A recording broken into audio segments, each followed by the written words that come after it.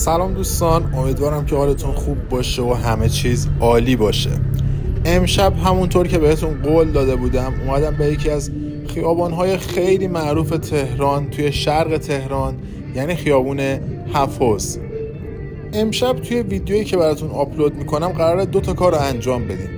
حدودا ده دقیقه توی خیابون هفت حوز قدم می‌زنیم و جمعیت اینجا رو نشون میدیم. جمعیت خوبی هم امشب هست و به سون سنتر یکی از فروشگاه های معروف و مرکز خریدهای معروف شرق تهران و همین منطقه نارمک و هفت حوز. یه سری می‌زنیم. قبلش فقط من یه سری توضیحات در مورد خیابون هفت حوز میدم.